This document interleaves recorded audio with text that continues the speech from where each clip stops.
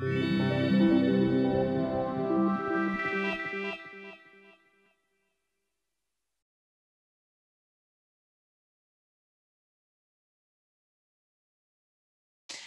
thank you for joining us today. Uh, I'm Francesca and I work in the Obs department at the Addenbrooke's. And I will be chairing today's event, which is part of the Early Researcher Seminar Series hosted by the Cambridge Reproduction SRI. I would like to say a few things before we start. Uh, first of all, we would like to thank the volunteer coordinators uh, for organizing this series, to all the speakers, and also uh, Christina, uh, the SRI coordinator who put all this together and uh, makes the events uh, run smoothly.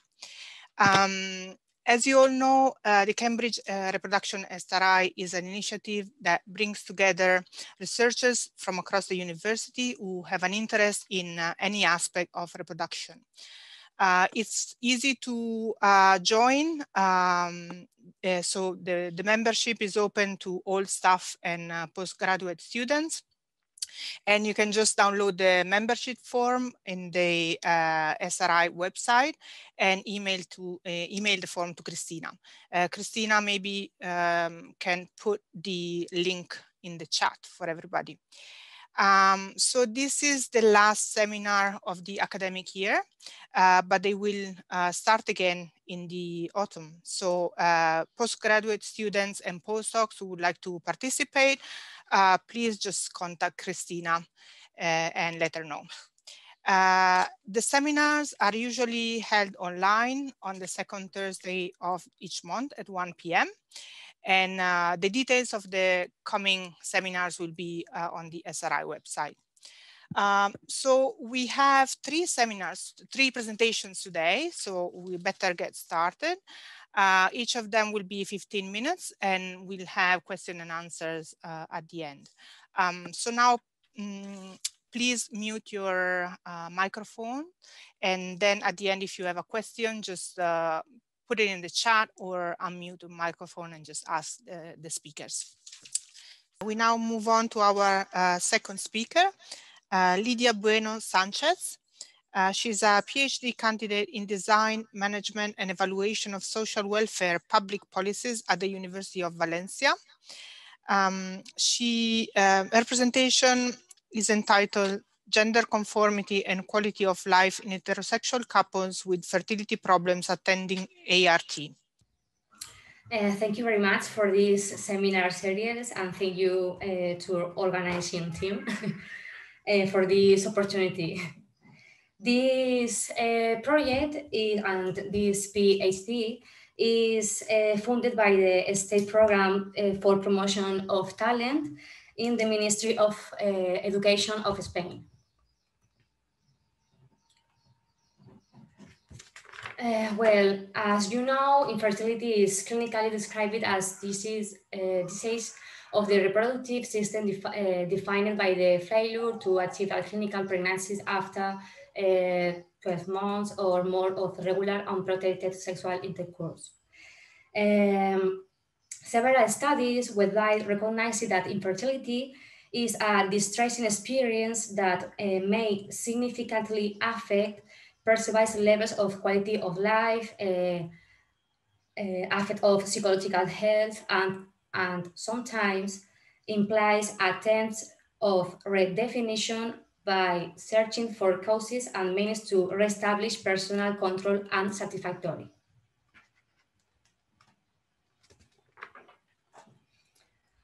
ART is a complex process that can lead to anxiety, depression, social isolation, low self-esteem, and sexual dysfunction. Uh, quality of life and its relationships to health and ART is important because to uh, it's important to understand and describe the psychical, mental, emotional, and social consequence of infertility and ART. Uh, other specific variables or connections can increase or attenuate the psychological impact of infertility and ART, social support, and coping strategies. And many studies confirm confirm that there are significant differences in the psychological impact on men and women.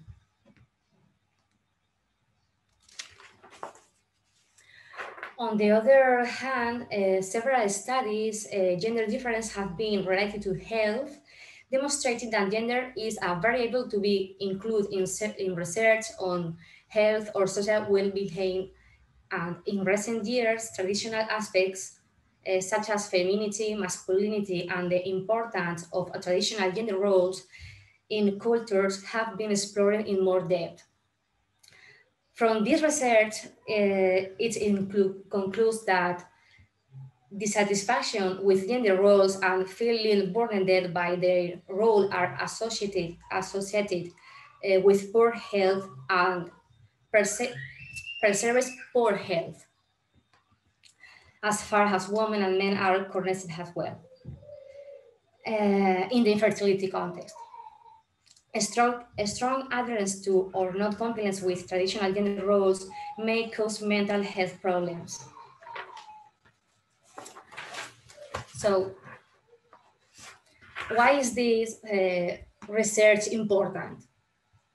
Understanding how gender roles modulate quality of life in infertility context and during treatment may help patients and professionals develop coping strategies, different strategies, uh, and preventing anxiety, depressions, and other disorders in the future.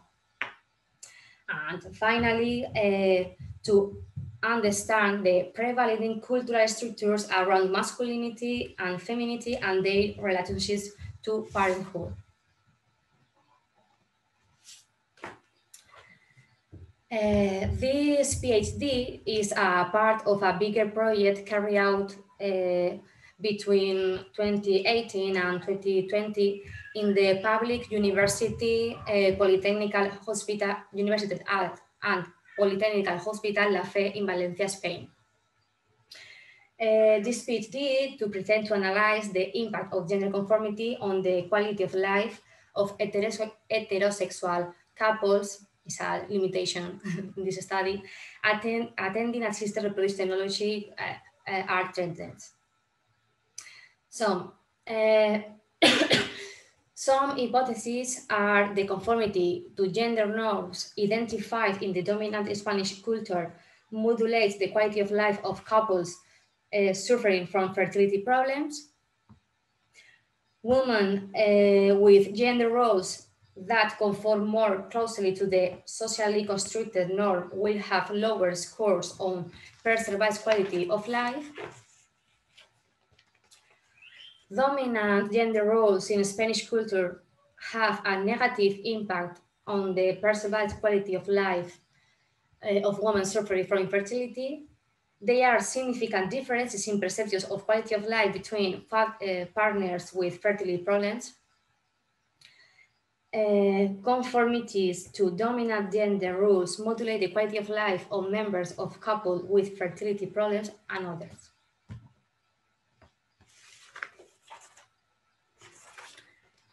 Uh, this is a cross, uh, cross-sectional study.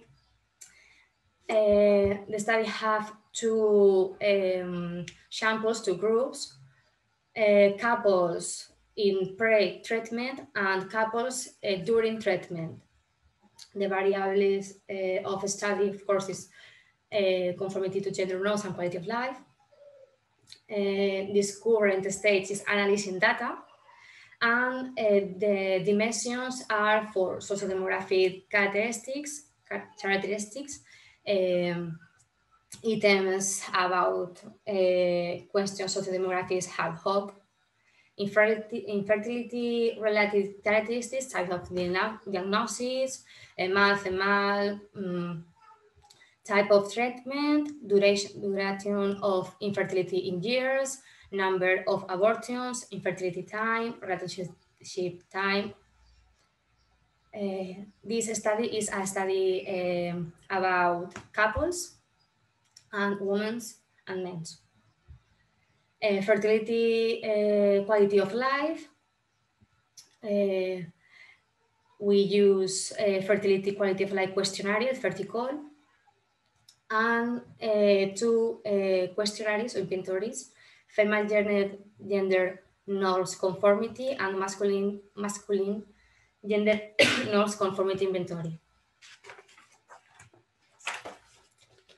The inclusion criteria are heterosexual couples, uh, uh, people over 80 years of age, couples su uh, suffering from primary infertility, adequate use of Spanish, uh, history of infertility, and asset to participate, of course.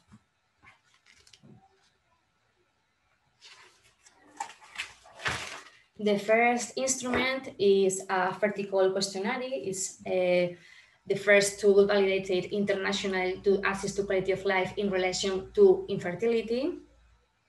Uh, it's composed to uh, um, two modules. The first module, uh, core, uh, have four subscales, mind, body, emotional, relational, and social. And the second module is treatment, is um, have two subscales, environment and tolerability. Uh, all items are scored on a Likert scale, Likert scale from zero four between zero and 100 scores, uh, higher scores uh, translators, translates a higher quality of life.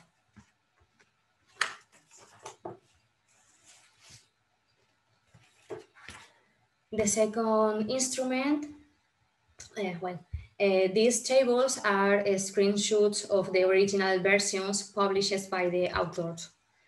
Um, it's an USA instrument validated in other countries. Uh, the two instruments consist of a Likert type, scales from zero, strongly disagree, to three, strongly agree. You can see subscales, nice in uh, relationships, thinness, modestly, domestic, care for children, romantic relationships, sexual fidelity, and invest in appearance. Is the female, female, feminine norm inventory. Uh, you can see shampoo items. It is important to let people know they are special. I am always trying to lose weight and others.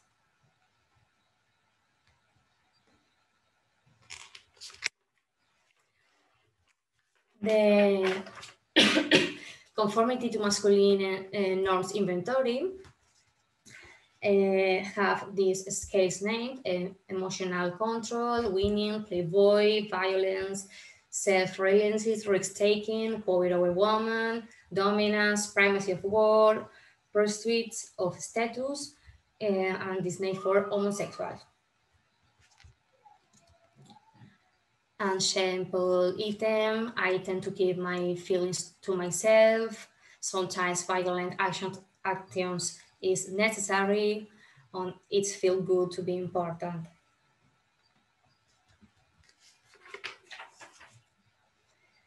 Uh, the Spanish version, it's different because it's an um, it have clusters. Some items are um, shortened and uh, margined. Um, sorry.